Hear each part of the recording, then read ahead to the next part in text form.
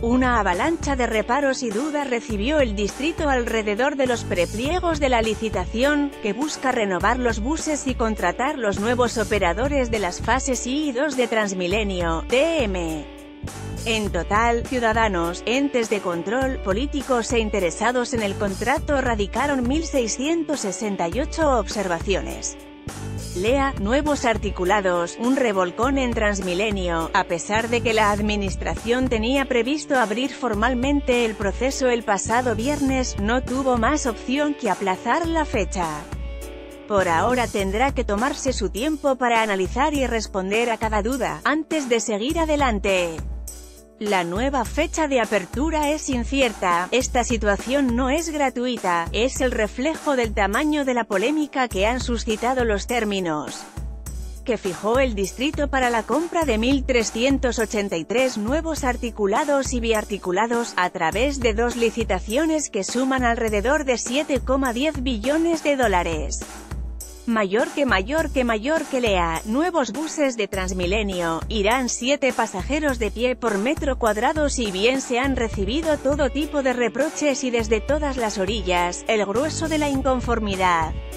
Se ha centrado en algo puntual, que la licitación no estimula la compra de vehículos que usen energías limpias y que respondan a la preocupación global por la calidad del aire. Quienes han analizado los términos de la licitación advierten que, aunque no se les cierra del todo la puerta a vehículos eléctricos o de gas, la forma como están diseñados los prepliegos dan poco margen de maniobra a los oferentes y, al final, terminarán comprando de nuevo buses operados con diésel. Para algunos de los que presentaron observaciones, el distrito no está teniendo en cuenta los beneficios que representaría para la ciudad la adquisición de vehículos con energías limpias que a la larga permitirían mejorar la mala calidad del aire en la ciudad y disminuir los costos que representan para la salud de los bogotanos. Mayor que mayor que mayor que lea. Concejales piden incentivos sólidos para buses eléctricos y a gas en Transmilenio. Mayor que mayor que mayor que lea. Desde el Congreso piden revocar licitación para renovar buses de Transmilenio. La respuesta del distrito ante esta polémica, el alcalde Enrique Peñalosa ha hecho algunas precisiones. Por un lado, que la licitación exige que los buses de diésel cumplan con la norma Euro V, una de las más exigentes en la reducción de emisiones contaminantes, y por el otro, que en los prepliegos de la licitación se incluyó un incentivo de 50 puntos al oferente que cuente en la nueva flota con vehículos eléctricos o de gas. Además, dice, por presupuesto es imposible ofrecer más. No obstante, señala que, a pesar de cualquier esfuerzo, hay razones que, en su concepto, dificultan la llegada de una gran flota de buses amigables con el medio ambiente a recorrer las troncales de la ciudad. Por ejemplo, destaca la falta de infraestructura para que los buses eléctricos y de gas operen sin contratiempos. Se refiere a la falta de estaciones de abastecimiento de los vehículos en los patio-talleres del sistema, algo que en los prepliegos no está claro quién debe ser el responsable de instalarlas. A esto se suma la falta de suficientes pruebas sobre el desempeño de estos vehículos en la ciudad. Todo, resalta, podría derivar en un aumento de la tarifa. Mayor que mayor que mayor que lea. Opciones de buses eléctricos en Transmilenio, son limitadas, distrito en cuanto al tema de la calidad del aire, que ha sido el centro de la polémica, para el alcalde Peñalosa el problema no son los buses que usan diésel, sino el polvo de las vías. El sustento de dicha afirmación es un estudio de 2014, en el que se señala que el 51% de él material particulado de la ciudad proviene del polvo de las vías y el 23% del transporte público. No obstante, vale resaltar que el estudio midió en su momento las concentraciones de partículas 10 de la noche, que se encuentran en el polvo suspendido y la actividad industrial, pero no tuvo en cuenta el indicador PM2,5, que mide las partículas que genera la combustión de los vehículos. Mayor que mayor que mayor que lea, ¿qué aire se respira en Transmilenio? Mayor que mayor que mayor que lea, el problema de la calidad del aire es el polvo, no la combustión de los buses, alcalde Peñalosa falta voluntad las explicaciones del alcalde han aumentado la inquietud entre los que cuestionan la licitación, pues consideran que los prepliegos evidencian poca voluntad política para implementar nuevas tecnologías en TM. Para Ower Barreto, ingeniero mecánico de la empresa Gas Natural, más allá de los puntos que otorga la licitación, los oferentes de vehículos de gas y eléctricos quieren que desde el distrito les abran las puertas a todas las tecnologías. El operador necesita sentir que la alcaldía quiere sacar adelante las energías limpias. Desde los pliegos deben estar claras las herramientas adicionales para que la renovación se dé. Se podrían aumentar los puntos para que el operador se convenza de que para ganar la licitación debe tener buses con otras tecnologías. Adicional, tiene que estar claro cómo debe ser la infraestructura y si el operador debe permitir que en su patio se construyan las estaciones de carga.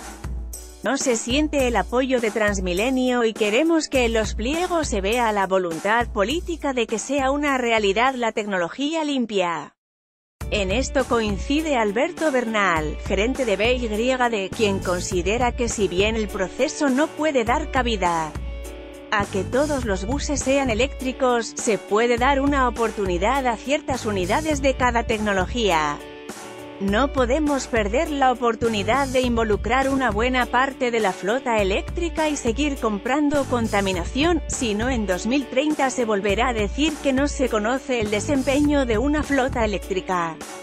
Pero, ¿cómo se va a saber si no se ha puesto a operar? Debe haber un número interesante de buses eléctricos, porque además se van a construir tres troncales en el corto y mediano plazo mayor que mayor que mayor que lea, nueva flota de Transmilenio, a ajustar el presupuesto o apostarle a un aire de calidad, al hacer las comparaciones entre los distintos tipos de tecnologías, se encuentra que, en principio, los costos iniciales de los vehículos de gas y eléctrico son más elevados, dado que el precio de los buses es más alto que los vehículos diésel. No obstante, los buses de tecnologías limpias contienen un ahorro en cuanto a emisiones de gases contaminantes, representando una disminución en el costo social de TM. Estas son las características de cada uno de los vehículos tomando valores de referencia de los automotores y no los valores de cierre de negocio, que presentarán en la licitación. Diesel Euro V La ciudad ya conoce cómo son y cómo operan los buses con diésel. El sistema se diseñó para operar con este combustible, así que toda la infraestructura gira a su alrededor. Un bus que opera a diésel, aunque su promedio de recorrido es de 300 kilómetros, llega a operar hasta 700 kilómetros con el tanque lleno, 110 galones de combustible. Mayor que mayor que mayor que lea, el diésel es algo del pasado. Secretario de Movilidad de Sao Paulo La tecnología Euro V se implementó en 2009. Y la principal particularidad es que disminuye la cantidad de partes de azufre por millón, ppm, en sus emisiones. El Euro V utiliza un combustible que tiene 15 ppm, mientras que los buses que actualmente operan en el sistema, con tecnologías Euro 2 y 3, lo hacen con un diésel de 300 ppm. El problema es que el combustible que se produce en Colombia contiene, mínimo, 50 ppm, que utilizan los vehículos Euro UV. Lo que esto implica es que las emisiones contaminantes continuarían siendo más altas que las de otras tecnologías. Tomando como referencia el material particulado PM2,5, un biarticulado con Euro V llegaría a emitir y un articulado. El costo del bus es 1.034 millones de dólares. Eléctrico El primer articulado eléctrico de Bogotá rueda por las troncales de Transmilenio desde 2015, oficialmente, desde junio de 2017. En las pruebas que realizó, el fabricante constató que el bus tuvo problemas con la suspensión, por lo que se le tuvo que adaptar una más fuerte. El costo del bus es de 1.842 millones de dólares y la principal característica es que sus emisiones contaminantes son casi nulas, lo que contrasta con las particularidades de la batería, ya que al ser una tecnología en constante desarrollo, es costosa mayor que mayor que mayor que lea, máximo 33% de la nueva flota de Transmilenio será de buses eléctricos no obstante, las baterías de estos buses podrían tener hasta 15 años de vida útil, que excede el tiempo previsto en la licitación, pero el lío estaría en la disposición final de las baterías. El tiempo de carga del bus eléctrico es casi de 3 horas y recorre hasta 340 kilómetros, equivalentes a un día de operación, ya que el bus tiene un sistema de regeneración de recarga, que se activa cuando frena o desacelera. En 2016, el bus logró su propio récord al viajar de Bogotá a Medellín, 415 kilómetros con una sola carga. Respecto a la infraestructura, responsabilidad de Codensa, hay que decir que en la ciudad se probó la primera electrolinera en marzo de 2015. Al año siguiente, en medio del piloto para los taxis eléctricos, se instalaron otras cinco electrolineras. Esto indica que, aunque no hay ninguna de estas estaciones en los patio talleres del sistema, no es impensable instalarlas. Gas natural Las pruebas realizadas en Bogotá con el único biarticulado de gas del mundo han tumbado varios de los mitos que se han planteado en el proceso. El vehículo, de marca Scania, se tuvo que construir y configurar para Bogotá y su motor tiene diferencias de hasta un 40% frente a uno de diésel. Lo que cambia es la inyección de combustible, puesto que el motor de gas tiene encendido con chispa y el motor diésel prende cuando explota el combustible. El bus, con capacidad para 250 pasajeros tiene sensores de peso y en las pruebas llegó a soportar 43 toneladas, que equivalen a unos 280 pasajeros en horas pico. Mayor que mayor que mayor que lea, generadoras de gas se reivindican como solución ambiental y piden pista en Transmilenio. El bus ha logrado subir la pendiente de 8% de suba, ha hecho rutas largas, logrando una autonomía de hasta 448 kilómetros, y pasó las pruebas de frenado, recuperación, maniobrabilidad, eficiencia energética y emisiones con concentraciones despreciables de gases contaminantes. Cada bus tiene un costo aproximado de 1.103 millones de dólares, y si bien el valor es más alto que el de diésel, el fabricante asegura que en el tercer año se empieza a evidenciar el ahorro y el sobrecosto se recupera. Por esto, la empresa Gas Natural considera que no hay razón para considerar un aumento de la tarifa, pues, además, asegura que en su propuesta estará incluido el montaje y mantenimiento de las estaciones de carga, y la energía para comprimir el gas.